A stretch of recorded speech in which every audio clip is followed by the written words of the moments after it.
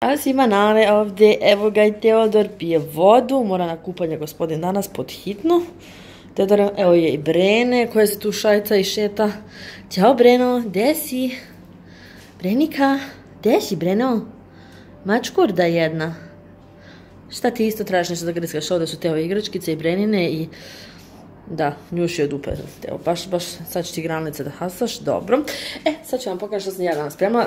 Htjeli se da vam snimim kako ja kuvam. Međutim, danas nisam stigla da vam to spremim jer sam bezaka spremila. Znači, ovo su neke čuftice iz Rerne. Jako su ukusne, e, nisu masne, što je jako bitno. Ovaj, I zaista idu sve. Dakle, uz to sam spremila i u stvari još se krčka, krompir iz Rerne. Evo ovako izgleda, znači napisat ću vam recepte jednog i drugog ovaj, u infobox zole, tako da ćete moći to da vidite, ups. Eh, dakle, čuftice su jako, jako dobre i ja ih mnogo volim i svi ih volimo da jedemo. Brena trenutno voli da jede granulice. Dobro, Brenika jede gangulice. Da nam je Teodor, on je negdje pobegao. Ne znam gdje je Teodor zaista. Negdje je zbrisu, pa ne može terasi.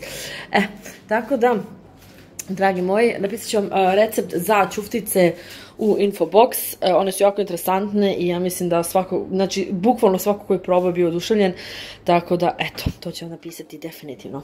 A krompir, mislim mogu i za krompir, ali dobro, to malo ne svi znaju, ali dobro napisat ću i to, ajde nije problem. Tako da, pravit ćemo jedan, definitivno ću početi ja kuvam s vama, samo moram da nađem neki odgovarajući stativ koji će mi odgovarati da mogu da snimim to kako valja. Ovo je jako teško da ako ti neko ne drži kameru da, da se bukvalno sve snimi, tako da jako, jako nezgodno, ali potrudit ću se. Eto, dragi moji, ja vas puno ljubim, pozdravljam.